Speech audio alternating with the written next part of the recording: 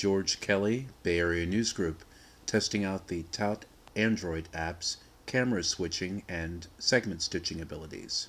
And if it's as simple as this, then a lot of people are going to be happy with it.